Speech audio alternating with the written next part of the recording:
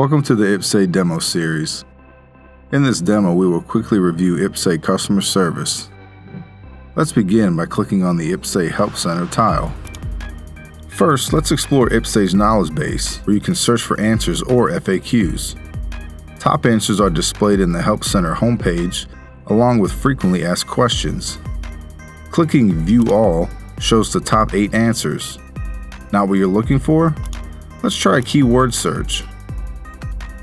Our search returned both solutions and FAQs. Let's open a solution. You can also provide feedback by completing the optional survey. Now let's look at some FAQs. By clicking the View All link, you can see FAQs arranged by library or topic. Unlike solutions, FAQs are displayed on the same page. Simply scroll back up to select another FAQ.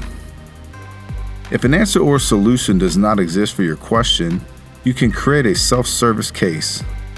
To do this, navigate back to the IPPS-A Help Center and click the Create Case tile. Indicate the type of inquiry, either Human Resources case or IT System case, and click Next. Please note HR cases will be routed to your HR professional, Readiness NCO or S1, and IT cases are routed to the Tier 1 IT Help Desk. Select the appropriate category, type, and detail, then enter a brief summary followed by a detailed description of the issue.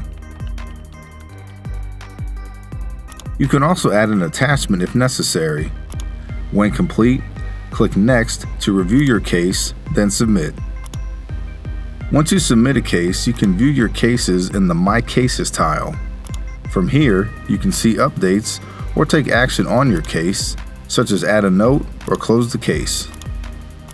You also have 90 days to reopen a closed case if your problem is not resolved or reoccurs.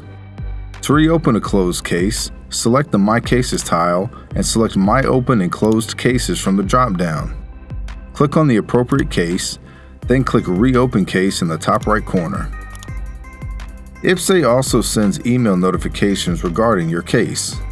The default email address is your government email but you can add your civilian email and designate your preferred email on the personal details page. This concludes our demo of IPPS-A self-service case management. Stay tuned for more demos of IPPS-A features by checking out our Facebook, Instagram, Twitter, and LinkedIn pages and subscribing to our YouTube channel. To learn more about IPPS-A, please visit us at ipps-a.army.mil.